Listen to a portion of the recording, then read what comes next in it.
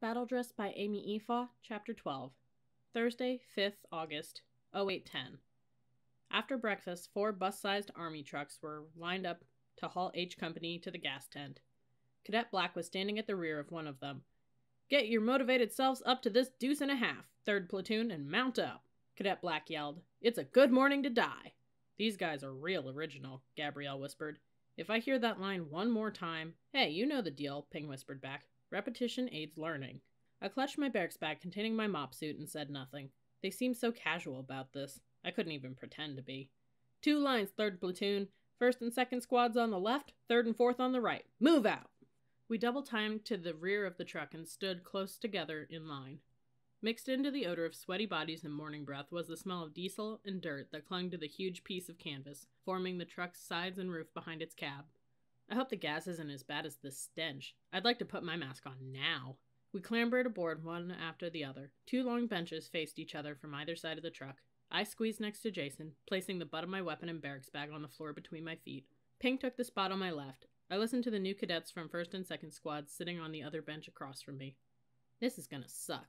Nah, cops use tear gas all the time. Is that all it is? Tear gas?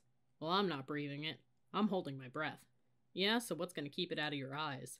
When all of 3rd Platoon was inside, Captain Black slammed the tailgate shut. The motor started up, and we were off.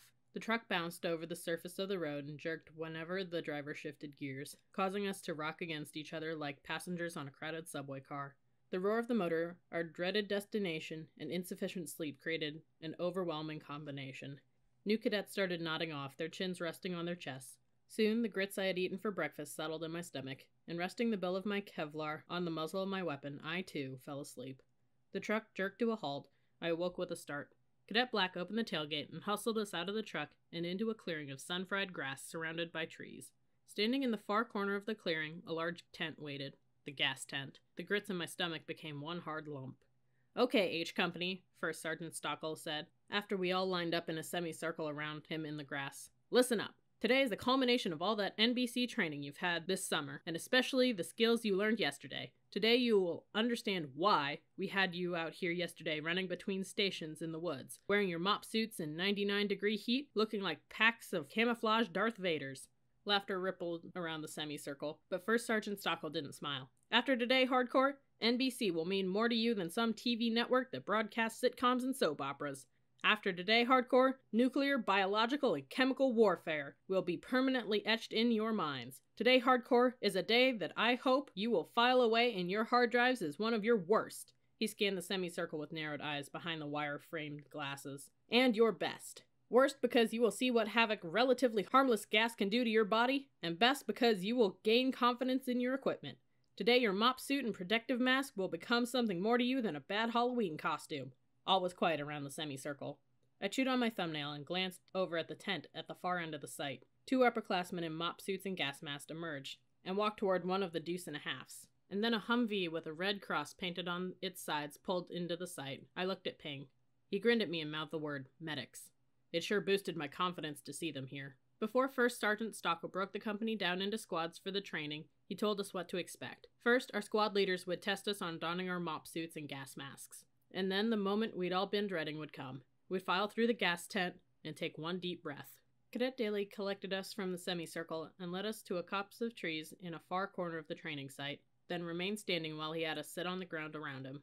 Eloquent speech out of Cadet Stockel, Cadet Daly said. Reminded me of myself. Hope you took it to heart.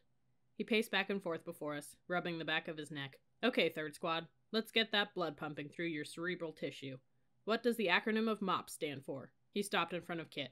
Bogus? Sir, MOP stands for Mission Oriented Protective Posture. All right, you knuckleheads are more awake than you look. And what about MOP levels? Why do we have them? Zero, you're up. Zero paused a moment before he spoke. Sir, the MOP levels determine what equipment soldiers must wear depending on the chemical threat. Sir, there are five MOP levels. Zero through four. Sir, the MOP equipment consists of. Cadet Daly put his hand up. Cease work there, motivated trooper. You're getting ahead of me. He turned to Gabrielle and smirked. Why don't you finish where Zero left off, Miss Bryan? Gabrielle's head shot up. She had been nodding off. Sir, I do not understand.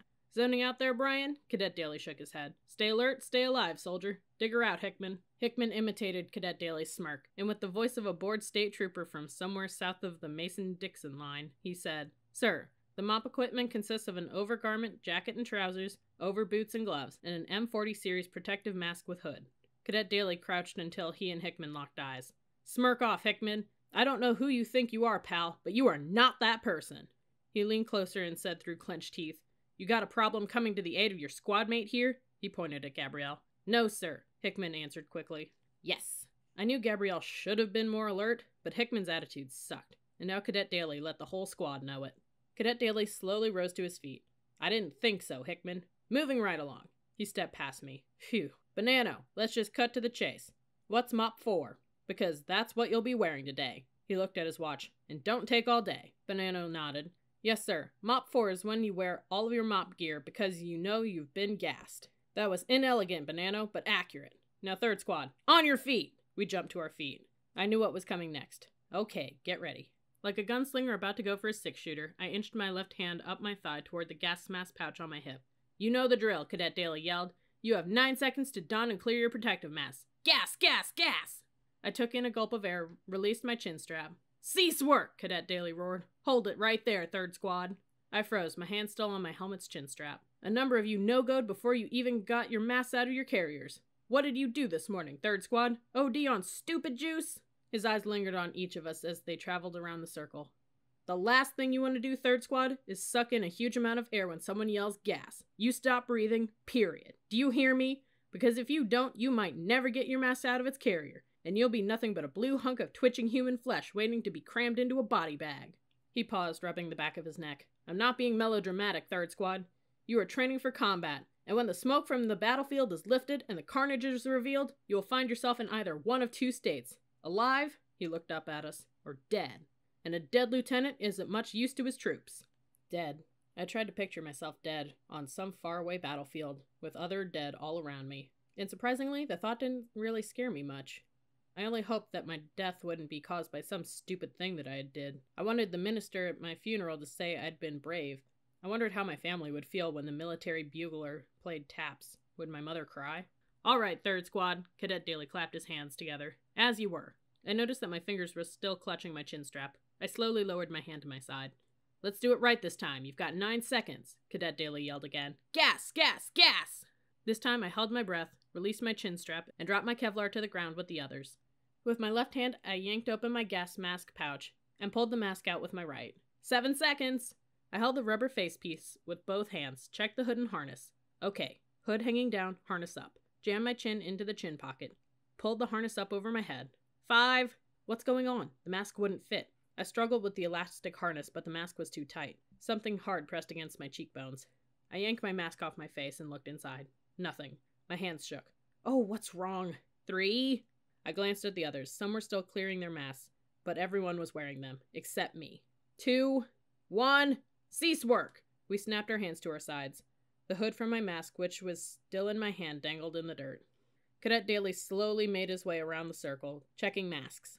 Go meant pass, and no go meant fail, and so far he was giving out all goes. Then he stopped in front of me. One of these smacks is not like the others, he sang softly. One of these smacks just doesn't belong. He leaned closer and whispered, You forgot to remove your glasses, Davis. I winced. I'm such an idiot. That's what was wrong. I'd been so used to wearing contacts, I forgot I was wearing TEDs. When I tested you on this yesterday, Davis, you gotta go, right? Yes, sir. So I assume the only reason you failed to do something as elementary as removing your glasses today was because you had contacts in yesterday, correct? Yes, sir. I stared at the place between his eyebrows. Calm down. It's a stupid mistake. So you aren't perfect. It's not the end of the world. So continuing with this line of reasoning, Davis, since you were not accustomed to removing your glasses when donning your mask today, you forgot. In other words, you had a major brain cramp, correct? Y- yes, sir. I bit the inside of my lip and braced myself for the coming explosion. He stared at me for a long time. Okay, Davis, he finally said. Put your mask back in the carrier. Let me check the rest of these guys and then I'll retest you. All right? Yes, sir. I almost smiled. As he walked away, he said, Just make sure you put your inserts in right or you won't get a good seal, and you'll be a no go again. Inserts? Yes, sir. I squeaked, my brain working double time. What in the world are inserts? Think. All clear, Cadet Daly yelled. Everyone, except me, tore off their masks and wiped their sweaty faces on their sleeves. Return your masks to your carriers and get your Kevlars to your heads. In a few minutes, I'll give the signal for gas again. This time, you're to don all your mop gear. This is the standard, third squad. You must go from mop 0 to 4 in 8 minutes. You will don your mask first, and then the rest of your gear. In this order trousers, jacket, boots, gloves. Got it? Yes, sir! I folded the hood around the mask and stuffed it inside my carrier. Mop 4, 8 minutes. Mask, trousers, jacket, boots, gloves. Got it? Make sure everything is snapped, zipped, and tied, or you'll no go. I know putting your mask on first will make life difficult, third squad, but hey, that's the way it'll be when the balloon goes up, so get used to it. He checked his watch. I highly suggest you organize your gear on the ground in front of you. You've got three minutes. Work! I emptied my barracks bag and worked on arranging my mop gear on the ground. Gloves under boots, under jacket, under trousers. Cadet Daly stood over me. Davis, he said quietly, listen, I'm just gonna retest you on your mask at the same time I test these other guys on Mop 4. After you don your mask, if you pass, continue on with the rest of your mop gear, with everybody else. Understand? I looked up at him, relieved. Yes, sir. He nodded and walked away. Cadet Daly can be pretty cool. Sometimes. Maybe nobody even noticed that I no-goed. It was pretty hard to see out of the masks. I chewed on the inside of my lip, watching the others stack their gear in neat piles. But I've got to find out about those inserts. I just couldn't no-go again. Not after Cadet Daly had cut me that break. I glanced at Hickman on my right, then at Bonanno on my left. Between the two of them, I figured Hickman would be more likely to know. Oh, why couldn't Kit be next to me? Or Ping? I closed my eyes. Oh well, you gotta do what you gotta do. I turned to Hickman and whispered, Hey Tommy. Yeah? Hey, do you have any idea what inserts are? Do they have something to do with the filters? Hickman stopped stacking his mop gear and stared at me. So you no-goed? It was a statement, not a question. I made my pile neater. Well, yeah, I, um, sort of forgot to take off my glasses when I donned my mask. You didn't have to tell him that. Hickman sighed. Look, Davis, if you got issued TEDs, you got issued inserts. People that need glasses put prescription inserts into their masks so when they take off their glasses and put on their mask, they can see. He shook his head. They went over all this yesterday. Oh, I managed a fake laugh. Well, I guess I really didn't pay attention since I normally wear contacts. Hickman did not look interested. So, inserts are those weird looking glasses things with the wires on the ends that came with my TEDs, huh? Before my lips had finished forming the words, I had already figured out the answer to my question and I cringed inside. I'd packed away those weird looking glasses things with the wires on the ends in MacArthur's barracks basement with the rest of my stuff. What an idiot. I had thought they were a replacement set of lenses for my TEDs in case the originals ever broke. Hickman shrugged. I have no idea what they look like, Andy. I don't need glasses. I smiled, trying to play the whole thing off as if it were no big deal. Well, thanks for the info. I turned away from him and gnawed on my fingernails, one after the other. What am I going to do? I can't see without glasses. Or inserts. Oh, Gabrielle was right. I should have worn my contacts. Cadet Daly's gonna kill me. Gas, gas, gas! Cadet Daly suddenly yelled. He was moving toward me. Oh well, it's a good morning to die. Eight minutes, third squad, Cadet Daly nodded at me. Starting now. Here goes. I held my breath and dropped my Kevlar to the ground. Glasses. I pulled off my TEDs and shoved them into the cargo pocket of my pants. The world was now a blur of browns and greens. I reached for my gas mask. Okay, just act like you can see. He'll never guess you don't have inserts. Seven seconds! Somehow, by the time Cadet Daly said, Cease work, Davis, the nine seconds were spent, and I had donned and cleared my mask. Cadet Daly moved closer and checked it. Then he thumped me on top of my head. You're a go, Davis. Drive on. I did it, thank God. I pulled the hood over my head. Then I unbuckled my LCE and shrugged it off, letting it drop to the ground. I stumbled to my pile of mop gear and snatched what I hoped were trousers off the top, holding them close to my face. Pants. So far, so good. I struggled to get them over my combat boots. Now the jacket. Sweat trickled down my neck, and steam from my face fogged my mask, further blurring my vision. I took my time with the jacket, making sure I didn't mismatch the snaps. By the time I finished, I felt like I was standing in a sauna, dressed in a triple thick sweatsuit with a plastic bag over my head. You're at four minutes, third squad, Cadet Daly yelled. Now the overboots. I bent over, hard to do with so much on, and like a drunk trying to fit a key into a lock, I fumbled those floppy one size fits all rubber boots over my combat boots. Lacing the overboots was even worse looping the laces through this eyelet and back through that one, inside to outside, letting my fingers do the seeing since my eyes couldn't. 30 seconds remaining! Only 30 seconds? I looked up. I didn't see much movement in the haze. Great. Is everyone done already? I dropped to my hands and knees, groping the ground for my gloves. Oh, come on, where are they? Squinting didn't help. Okay, just calm down, you'll find them. My fingertips touched rubber. Yes. I scrambled to my feet and pulled my gloves over my hands. Then I slapped my Kevlar on my head. Done. Five, four, three, two, one. Cease work, Cadet Daly yelled. Okay, third squad, let's see how you did. Cadet Daly traveled around the circle until he reached me. I think I'll start with you, Davis. He looked me over from foot to head, then stepped behind me. May I touch you? Something's wrong. Yes, sir, I yelled through my mask. Please don't say I'm a no go again. Please. I felt him tugging at the bottom of my mop jacket. You failed to snap one of the three snaps that connect your jacket to your trousers. I wanted to clobber myself. Idiot! But I'm a reasonable guy, Davis, so I'm gonna make a deal with you. You make the correction in five seconds since you had five seconds to spare, and you're a go. If you don't, he smacked his lips. I guess Third Squad will get to see your encore performance of, he now stood facing me, Blind Man's Bluff. He knows. He definitely knows. I was thankful for my mask just then. I held my breath. Okay, go ahead, haze me. I deserve it. Make the correction. I stood there, shocked that he had shown me mercy for the second time today. Who are you, Davis? Helen Keller? I said make the correction. Yes, sir. I found the snaps along the back hem of my jacket and made the correction before he changed his mind. When I looked up, Cadet Daly was gone. He had moved on to Hickman, and I was amused to hear was correcting him for the same mistake that I had made. After he had inspected us, Cadet Daly said, Okay, third squad, let's get those pores opened up and those lungs cranking. I want you to get the full benefit of today's training. Double time in place. Ready? Begin! He made us run in place. He led us through 50 repetitions of the side straddle hop. He made us run in place. He dropped us for push ups. He made us run in place. Bring those knees to your chest, third squad. What's the matter? You stay up all night or something? Put a little pep in your step. Pep in my step? I felt like I was slogging through wet concrete up to my waist, and I was unbelievably hot. Looks like third platoon's in the door, third squad, Cadet Daly said, pointing across the site toward the tent. See, first squad's going in, right now. I peered out of my mask fogged over eyepieces, seeing nothing. And second squad standing by. It's time for you to join the fray. Put on your LCEs and line up behind Hickman, then double time over to the tent. Quickly! I felt the ground around me with my feet for my LCE until I kicked it. I snatched it up and jumped behind Hickman. I fumbled with my LCE, untwisting its suspenders and snapping its buckle. I tried to catch my breath as the rest of Third Squad pushed and stumbled their way into a single file line. What are you waiting for, Hickman? Cadet Daly yelled. An engraved invitation? Move out! I jogged behind Hickman, squinting at the ground, its browns and greens rushing over my feet like a treadmill. Just don't trip. Keep moving, but whatever you do, just don't trip. I heard a lot of yelling as we neared the olive drab blur that was the tent. I squinted. On one side, I could make out a line of new cadets shuffling in. On the other side, new cadets staggered out, their masks in their hands and their arms flailing. Upperclassmen holding canteens had formed a sort of corridor just outside the exit, greeting the new cadets with faces full of water as they burst outside. Come on, keep the line moving, new cadets. Oh, yeah, it's a good day to be a soldier. Hooah! The scene wasn't a pleasant one. I don't want to do this. Veer to the left of the tent, boneheads, yelled an upperclassman. Double time in a circle. I don't want you resting while you wait. Hickman curved us to the left, and soon Third Squad was trotting around and around like circus elephants. Keep moving, new cadets, the upperclassman yelled. I tripped along beside Hickman for what seemed like forever. Okay, you. The upperclassman grabbed my arm and shoved me toward the tent. Go on inside. The rest of you follow him. Follow him? For a moment I was confused. He did mean for me to go in first, didn't he? Then I realized. Mop suits made us sexless. I stepped forward and batted the canvas with my hands. Oh, come on, where's the stupid door flap?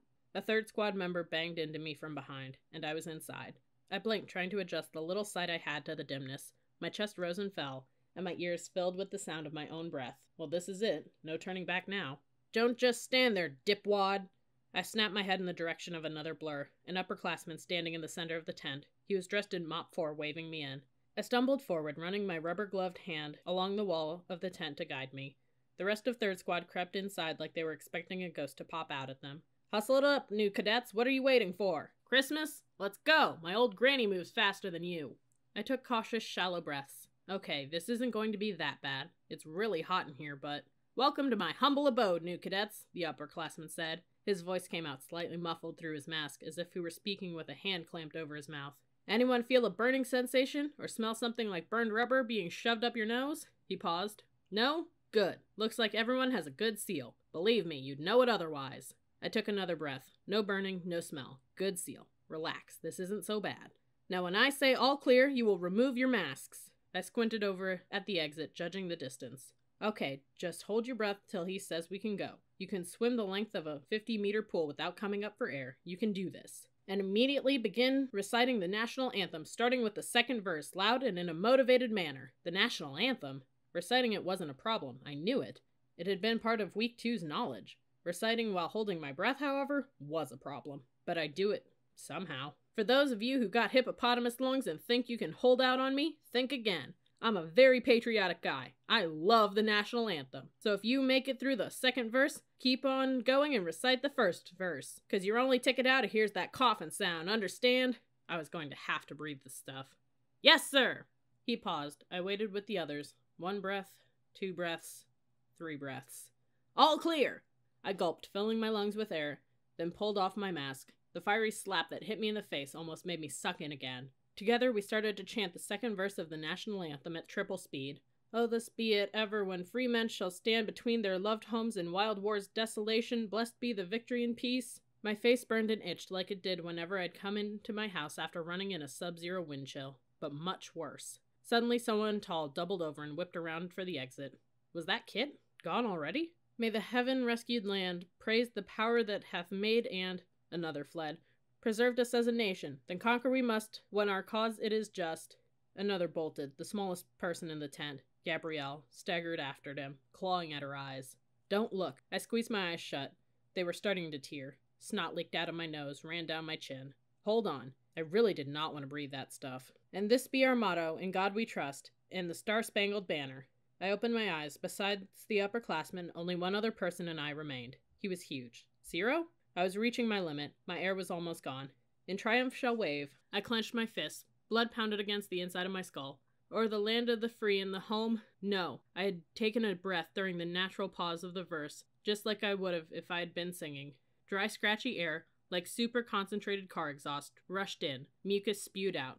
I sucked in again. I'm drowning. No, my throat's on fire. I wasn't in an army tent. I was in an airtight phone booth with a thousand chopped onions. I scrambled for the exit and, waving my arms wildly in front of me, found the opening in the canvas. Of the brave. Zero had finished the verse. Alone. Sunlight and cold water struck my eyes simultaneously. Shouting faces hovered above me. Hands pushed me forward. Water drenched my hair, my face, my neck. Keep moving forward, Davis. You're doing okay. No stalling. Someone's right behind you. More snot than I ever imagined my body could produce covered my face and mop suit. Thick lines of drool hung from my mouth to my waist. No sunburn, not even the one I got on my first day of lifeguarding two summers ago, had ever fried my face like this.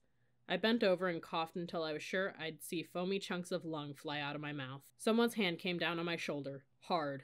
I reeled around. Zero. His eyes were red, his face covered with slime, his mop jacket dripped water and goo. Davis, just want to say, he turned away from me and spewed mucus out of his mouth. I just wanted to say, I'm glad you left when you did. I couldn't. He started coughing, then cleared his throat and spat again. Hold out much longer. He wiped his nose on his sleeve. Man, that stings. That mop suit really soaked up that stuff. I shook my head. Hold out much longer? My words came out in wheezy gasps. Yeah, he held his mask under his arm and peeled off his gloves. I just wanted to be the last guy out of the tent, that's all. He paused to take three raspy breaths. You know, to really experience the stuff. Experience the stuff, Zero. I shook my head again. Not me. I just didn't want to inhale. That's why I stayed in so long. I coughed, then swallowed, coughed, then swallowed, and finally spat. Procrastination, I guess. Man, I thought you guys were. Man, I thought you guys would never come out of that fiery furnace. I turned around. Kit was standing behind me, a canteen in his hand. I was starting to think you were doing a Shadrach, Meshach, and Abednego. A what? I squinted at Kit and started coughing again. Kit, sometimes I think you belong on another planet or something. I wiped my mouth on my shoulder. Ouch. My lips burned like I had smeared them with Tabasco sauce. Kit winked. What can I say? I'm just a pilgrim traveling through. Here. He handed me his canteen. You look like you need a drink. I took a swig, swishing the water around my mouth before I swallowed. Sorry, but I think the gas has affected both your brains, guys. Me? Kit wheezed a laugh. I wasn't in there long enough, Andy. I took my obligatory breath and I was out of there. I figured why prolong the misery. But this guy, he pointed at Zero, just admitted that he wanted to experience the gas. Now tell me who's killed some serious brain cells. Zero opened his mouth to say something, then just smiled and shook his head. You've got a point there, Kit. I reached down between my mop pants and my BDU trousers, feeling for the cargo pocket that held my glasses. All I can say is you guys are way more hoo-ah than me. Kit shrugged. Hoo-ah probably isn't the right word, Bogus. He glanced at me. I'm speaking for myself, of course. Sentimental would be more accurate, I think. Sentimental? Kit and I said together. I slid my TEDs on my face. Finally, I've got my eyes back. Zero frowned. Okay, now I do sound like my brain's been affected. Forget I mentioned it. He scanned the pack of slime covered, hacking new cadets who were milling around all over the training site. I don't know about you guys, but I'm ready to shed these threads. Where's third squad at? I'm the guy to ask, Kit said. I just came from there to police you two up. Then he looked at me. And I'll tell you what, Andy, Gab's one unhappy camper right now. I felt my heart speed up. Why, what happened? She's okay, isn't she? Oh, she's okay, Kit said, but she wore her contacts today and. She lost them. Kit nodded. I shook my head. Poor Gab. These past 24 hours had been rough ones for her. As we made our way over to third squad, Kit said, Okay, Ciro, I'm not letting you off the hook. You can't just say something like CS gas makes me feel sentimental and drop it. Ciro flexed his jaw and stared straight ahead. I nudged him. Yeah, that's right, Ciro. There's nothing sentimental about coughing your guts out. Ciro slowed his steps, then stopped completely. His eyes bounced between my face and Kit's. Look, guys, he finally said. It's no enigma, okay? It's just that, well, tear gas and my family go way back, that's all. He glared at us. It's not a joke, guys. Kit stared back at him. You see us laughing, Ciro? Ciro stared at the toe of his boot, kicking a stone that was stuck in the dirt. Look, when my grandma was about my age, she got a good dose of tear gas. My uncle, too. Same age. Same town. 27 years later. End of story. Oh, so they were in the army, too? I don't know why exactly, but I regretted the question the second I asked it. I started pulling off my gloves to give me something to do. Not exactly, not unless. Ciro said, dropping his voice, as if he were talking more to himself than to me. You think the color of your skin is some sort of uniform. Then he looked at us, his eyes guarded. No, during the Watts riots, 1965, and the Rodney riots, 1992, respectively. He crossed his arms. LA's the place to be if you want to get gassed. I didn't know how to respond to that, and apparently neither did Kit, because we said nothing together. No, my family's no fan of the Army, Ciro said. Or West Point, for that matter. He shook his head and laughed softly. Definitely not West Point. He let out a long, tired breath. My grandma's the toughest lady you'll ever meet. She raised me and my brothers when my mom took off. But back when she was my age, she had two passions anti war protests and civil rights, and she's never let them go. For as long as I remember, she's combined the two in hating the military. He paused. Her first husband was a KIA in Vietnam. Killed in action. Sorry. I chewed on my thumbnail. It tasted like burnt rubber. Yeah. Ciro stooped down to pick up the stone. He had been working it out of the dirt all this time, then tossed it from one hand to the other, one hand to the other. She's always going around saying stuff like Vietnam was the black man's war and quoting Dr. Martin Luther King Jr. He clenched his fist over the stone and closed his eyes. Lines creased his forehead. We have been repeatedly faced with the cruel irony of watching Negro and white boys on TV screens as they kill and die together in brutal solidarity, realizing that they would never live on the same block in Detroit. He opened his eyes. Pretty good, huh? Yeah, my grandma has his speeches memorized like preachers know the Gospels. He shrugged, his eyes wary again. But hey, this means nothing to you guys. You don't want to hear this.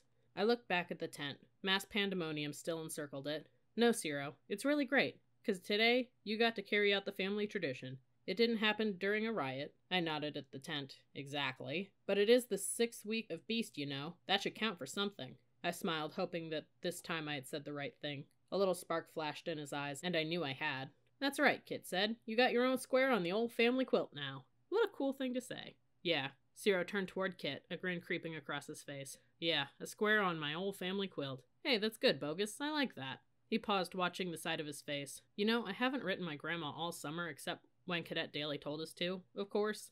But now I think I've got something to write home about. Something she can relate to. Maybe she'll finally see that, well, we all have our causes. He chucked the stone toward the woods. Mine's making it through this place. East LA ain't gonna be my cage. We watched the stone sail through the air, then hit a branch before bouncing off the leaves as it dropped to the ground. Well, Ciro, I said, when you write her, tell her about us. I nodded my head toward Kit. Tell her that we live on the same hallway as you, okay? I will, he nodded. I want her to know that. Ciro clapped us both on the back. Thanks, guys. Then he squared his shoulders and the hardness was back in his eyes. Just like that. Nuff said. Let's hook up with Third Squad. They're waiting on us. As I sat with Third Squad in the copse of trees, peeling off my soggy mop suit and listening to Gabrielle's requiem for her lost contact lenses, I felt like a real human being for the first time all summer. For a few minutes, Ciro had cracked open his onyx exterior and let me see inside, and I realized that I wasn't the only one with a quilt square to stitch.